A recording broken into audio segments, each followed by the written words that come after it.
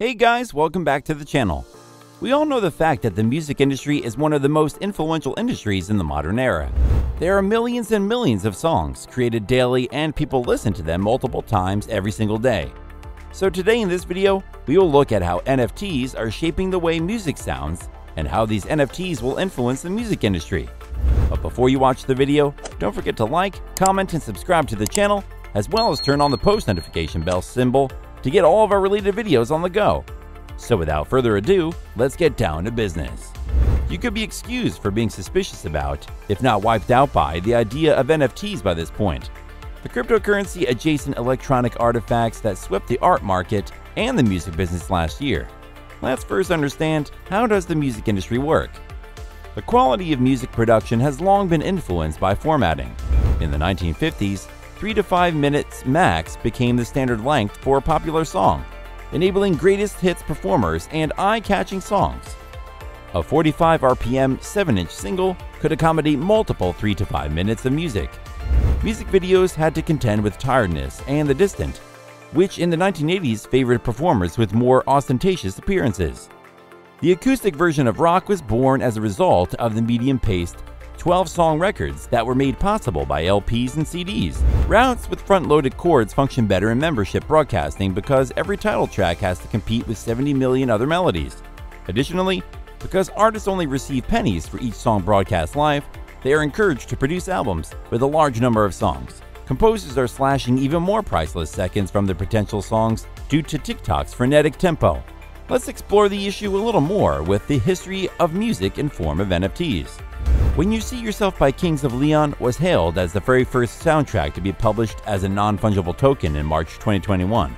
Customers who purchased the latest and greatest electronic plugin received their real copies worldwide. You guessed it, traditional MP3s and vinyl records.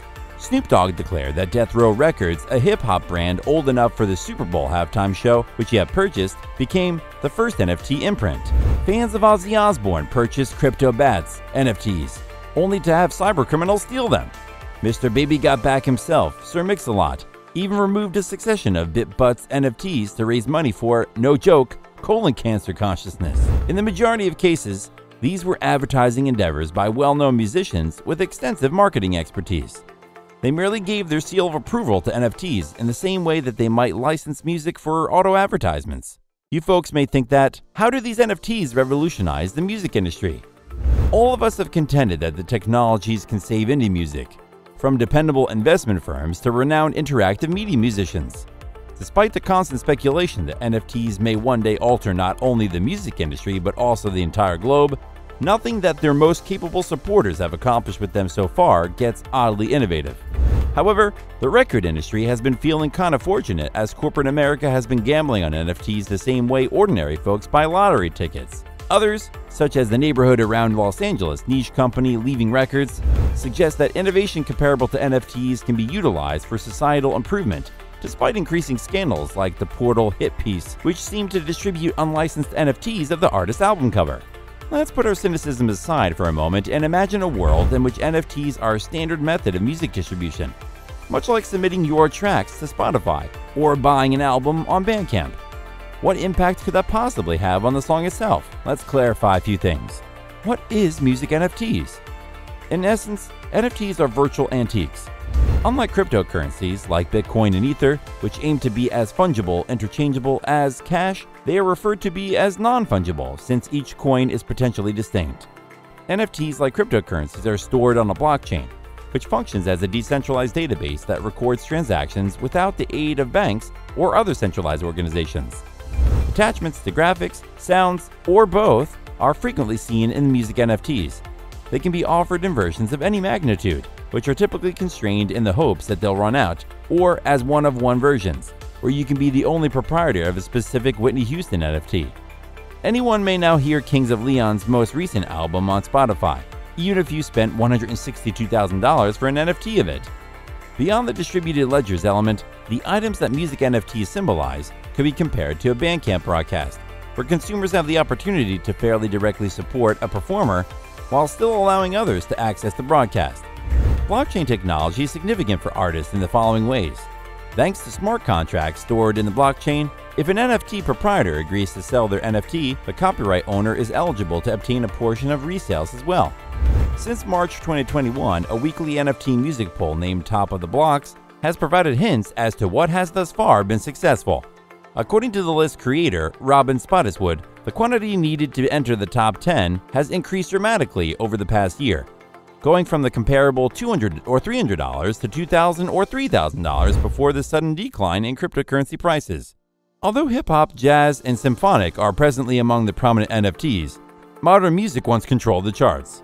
She continued that she has witnessed that it's life changing for a lot of individuals since she has been intimately implicated in the music NFT space for a year now.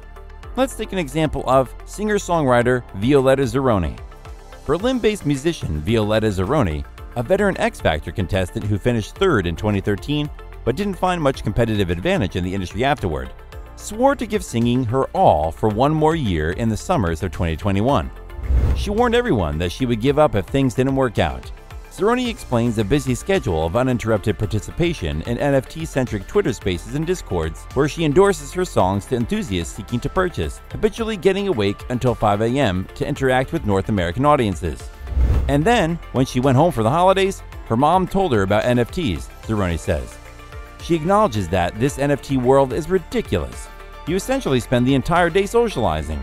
You meet individuals while hopping from session to session and event to event and you display your music talent. Zironi believes that since they may always showcase their music live in a Google meeting, vocalists, in particular, have an opportunity. It truly gets people's attention. It's wonderful that you're performing to them specifically over their cell phone. She started making hundreds of dollars just from her music NFTs in February. Here's a look at her collection Violetta Zironi Music NFTs Collection. Handcrafted Music, her debut NFT release, was a compilation of unvarnished folk tracks that were all performed in a single take. She produced the collection's clips in her lounge room for the sultry lament, A Little Rain Must Fall, which wouldn't sound out of place in a local cafe. The one of one version of the NFT for A Little Rain Must Fall was auctioned on March 2nd for about an additional $10,000 in cryptocurrency at the time. That was sufficient to propel Zironi to number two on the NFT music list, where she joined independent music mesmerist Casey Hill and unconventional digital artist Xyla in the top 10. At number 1 was Snoop Dogg, whose NFT for songs off his newest single, Back on Death Row, Snoop's stash box produced about $121,000 in shares traded that week. Even with today's weaker crypto prices, her next NFT startup, Moonshot, has gained roughly $40,000 since late April. Through Nifty Music, a company he co founded, Spottiswood now offers Zironi advice. Let's look at other examples. Nifty Sax, the stage name of Italian blues artist Milo Lombardi, produces NFTs of tunes using only his musical instrument. Lombardi used to perform at ceremonies and corporate meetings, but during the disease outbreak, he learned about NFTs. By the time he released his first album of NFT music in March 2021, he had made approximately $120,000 in sales. Rap artist Haleek Maul, a Bajan American born Malik Hall, tried a different path to the idea of NFTs as crowdsourcing by planning what is referred to as the very first fan produced clip. Well above what he could have historically budgeted, Hall gathered $640,000 in three minutes in January for a clip of his bass thumping, synth shaking track Verified, allowing a full documentary crew to decamp to Barbados. The launch of especially music focused NFT services like Catalog and Nina over the past year have been a significant breakthrough. NFTs are not eliminating regional governments, which is contrary to the idea behind cryptocurrencies. The encounter for fans won't likely change all that much in the very big scheme of things, even if music NFTs take off. Funds are provided in traditional currencies, and the cryptocurrency components of NFTs will be just hidden from consumers as Spotify shares between copyrighted material.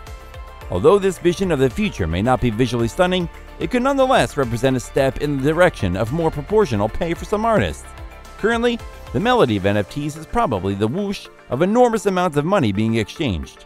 But when this modern tech develops further, it will be worthwhile to cut through the hoops to hear what composers accomplish with it. Well, that was it for this video. I hope you got to know a lot about these music NFTs. Leave a comment below if you want to learn more about NFTs. Subscribe, like, and comment on the channel, and don't forget to click on the post notification bell icon to receive all of our uploads in your inbox immediately. With that, it's time for me to end my video. Till next time, stay safe and thanks for watching.